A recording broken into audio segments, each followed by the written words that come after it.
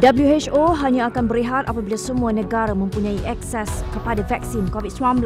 WHO tegaskan cabaran untuk lawan virus itu pada 2021 adalah varian baru dan orang ramai yang mula penat dengan arahan sekatan. Hospital di UK batal prosedur tidak penting dan bertungkus lumus mencari ruang untuk rawat pesakit COVID-19. Pada Isnin, lebih 41,000 kes disahkan di serata UK, peningkatan kali pertama langkaui 40,000 sehari akibat varian baru COVID-19.